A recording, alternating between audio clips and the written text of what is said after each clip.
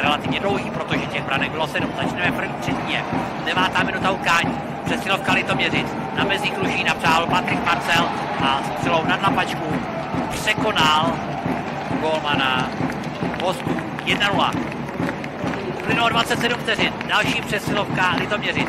Z pravého kruhu napřál s 32 Josef Slavíček a bylo to rázem 2-0 pro Litoměřice. Teď ale přijde ten gól na 2-1. V 16. minutě utkání od Mantinelu takovou lehkou střelou zápěstím nachytal Tomáše Krále slovenský útočník Rok Macuch 2-1.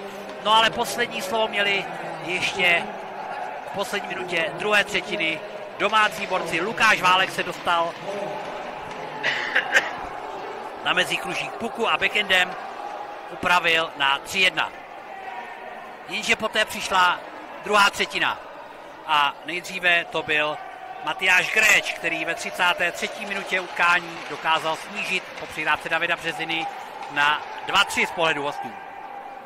V 37. minutě následoval solová akce po přihrávce obránce Černého, v ní byl Jan Svoboda a dokázal zakončit 3-3. No a na začátku 43. minuty utkání se trefil z pravé strany dnes po druhé rok